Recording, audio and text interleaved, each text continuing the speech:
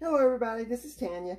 This evening I was in the mood for some pumpkin pie, but since I don't really care for crust, not just on a pumpkin pie, on anything, I'm not really uh, that particular about the crust. I can take it or leave it. So I decided to look and see what the ingredients were on the um, Libby's Pure Pumpkin. And so the ingredients on here for the famous, let me turn around so you can see it. Okay, for their famous pumpkin pie is one can of pumpkin, one half cups of carnation evaporated milk. Notice they're naming the brand, so we're going to ignore that. Uh, Three-fourths cups of uh, sugar, one half cup of salt, not one half cup, one half teaspoon of salt, one teaspoon of cinnamon, one teaspoon of ginger, one teaspoon of clove, two large eggs, and a nine inch deep dish pie shell. Okay, that's what it's calling for if you're doing the classic or the famous pumpkin pie. They have another one on here they're calling the new fashioned pumpkin pie, which calls for one can of pumpkin puree, one cup of evaporated milk, um, sweetened condensed milk, one half teaspoon of salt, one teaspoon of cinnamon, one teaspoon of ginger, one uh, I'm sorry, one half teaspoon of ginger, one half teaspoon of clove, two eggs, and of course a pie shell. Okay, the pie shell, like I said, is out. Okay, and the cinnamon, clove, and ginger, that's all in pumpkin pie spice. And this is the pumpkin pie spice Sandra made. So I'll be using this instead of those individual ingredients. And instead of um, evaporated milk, I have some half and half. So I'll be using that. You use what you have, okay? I have some um, evaporated milk that I did make or process, um, which I got the um, procedure from Homestead Heart. And if you're interested in it, I will link it in the description so that you can go look at that if you want to. But I'm not using it. I'm saving that because I only have, um, I think I have two um, pint-sized jars left. So I'm not going to use this on this. Use that on this. Especially since I have this milk. I'm not doing anything else with it. I need to use it up. Okay? And so what I'm going to do is I'm just going to combine everything in my bowl and stir it up. So I'll be back once I have everything in the pool. Okay? Well, I guess I can go ahead and do it while you're watching.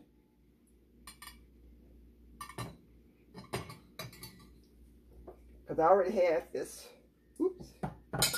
Open. I just use the, everything just dump. It's a dump method.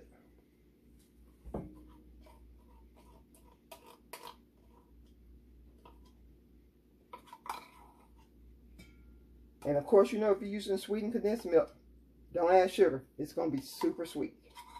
The sweetened condensed milk is super sweet as it is. So you don't need any sugar.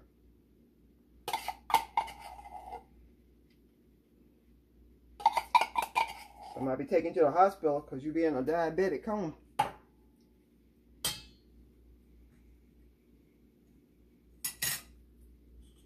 Okay, and then here's my pumpkin. I'm just dumping everything in here. I'm going to mix it all up.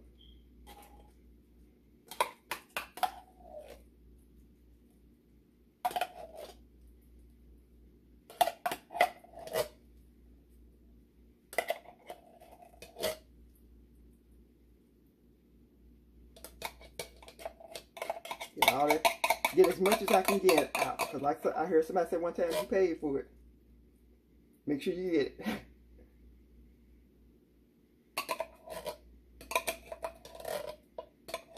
Especially if you buy the Libby's brand. Because this is like $2 and some change per can. Whereas if you buy the store brand, I think it's like 90 something cents. So that's why you want to definitely get it all. Leave nobody behind. And I am going to do the half a teaspoon of salt. You know, salt always brings out the sweetness in anything. Move that out there so I won't knock that over. Uh, let's see. Guess I can crack my eggs in this. I should have cracked it in that first, but anyway, whatever. It's all the same.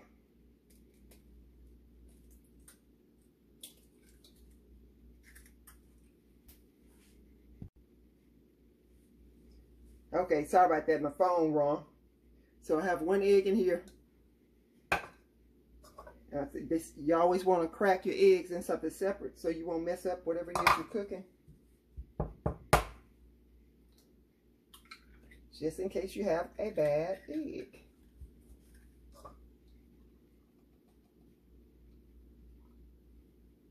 And like I said, the way I'm doing this, instead of one and a half cups of milk, I'm using one cup of milk.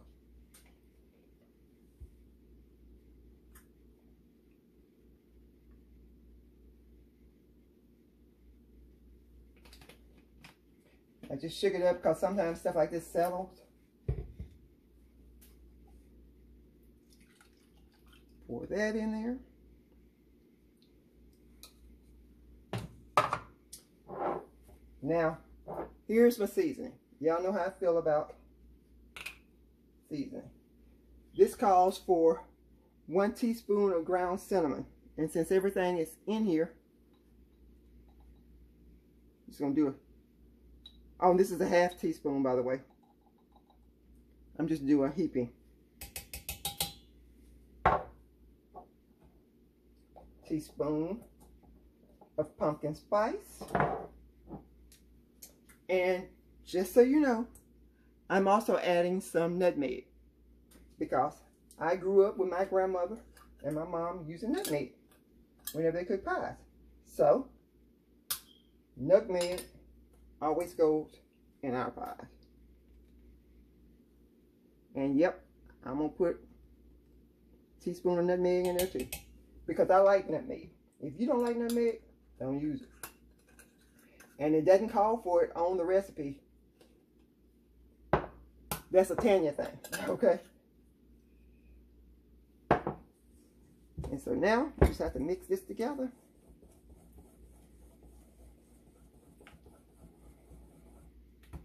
And once I get together, this is going to go into my 8x8, my 8x8 dish, which I have already sprayed it. So it's just going to go in there, and we're going to stick it in the oven. I have my oven preheated at 350 degrees. Now, if you go by the directions, if you make it according to what they, they say, then this is actually, uh, you're supposed to preheat your oven at 425 degrees. Let it cook for 15 minutes at 425. Then you reduce it to 350 and let it cook for 30 to 40 minutes or until um, it's done or, or you stick a knife or something and it comes out clean. All right, so I'm gonna go ahead and stir this up and I will come back and let you see what it looks like once I get it in my bowl or in my pan. So,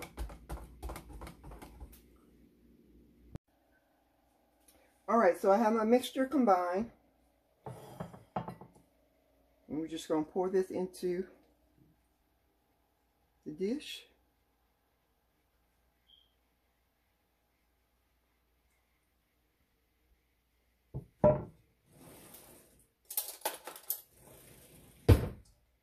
Get a little bit that's left in there out.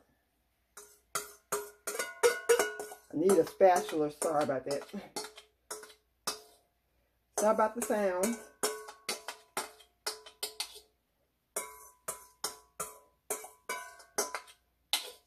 All right.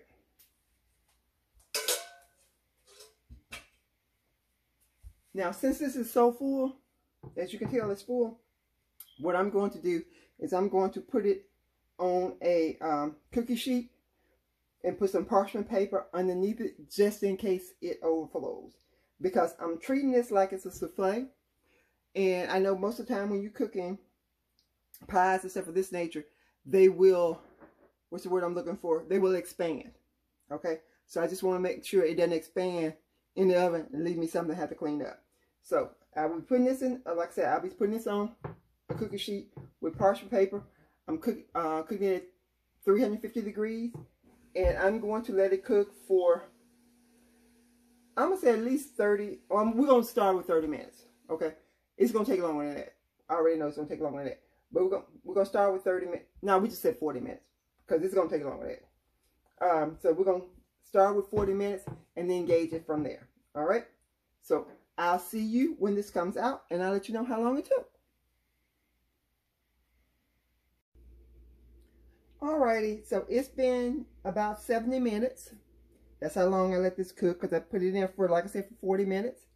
Then I gave it an additional 20. And even when I came back at 20, it looks like, I mean, it still needed a little bit longer.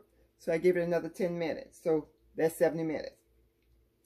Uh, I'm going to let this sit here um, for, I don't know, about an hour, hour and a half to cool down a little bit before I dig into it. And uh, again, I'm treating this as a souffle, but this is actually the um, recipe on the Libby's can for their um, fashion, yeah, fashion famous pumpkin pie. I think that's what they called it. Anyway, I threw the can away, so I don't remember. Anyway, so like I said, I'm treating it as a souffle because I guess technically anything, any dessert you cook that requires a crust that you don't use a crust would be considered a souffle, especially if it's got a custard to go to it. I don't know. That's Tanya's that's Tanya's logic. So I'm calling it souffle. So that's what we're going with. But anyway, just wanted to share this with you. Um, it smells delicious. I'm sure it'll be good. But if it's not good, I'll let you know. If you don't hear from me, then you know it was good. Okay? All right. So thanks for watching. Don't forget to comment, like, subscribe, and leave a legacy. And by the way, I will put the ingredients that I put in this in the description in case you're interested in making one on your own. All right. See you in the next video. Bye.